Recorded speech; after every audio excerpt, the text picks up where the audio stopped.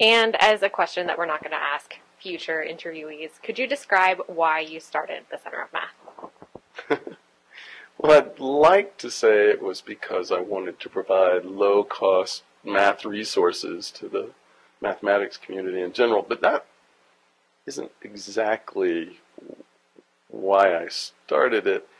Um, other people have this vision of themselves retiring sitting on the porch and having their grandkids on their knee. And I have this vision of myself retiring and buying an old Victorian home and turning it into my own math center where I live, but then I also have like a library and extra rooms for visitors and hold conferences and maybe provide tutoring for local colleges or universities.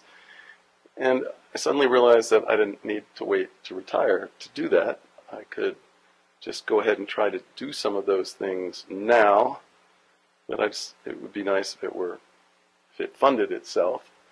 And so we started, I originally thought we would publish videos, calculus videos, just to plug into any calculus course in the country. But then um, it was suggested that we needed to provide content, so a textbook to go with the videos. And so we started selling digital textbooks at a very low price. Um, right now, we don't provide all the great things I'd, I'd like to do in the future, like host conferences and pay for visitors and buy my Victorian house. But we'll get there. We'll get there. I haven't retired yet either. So.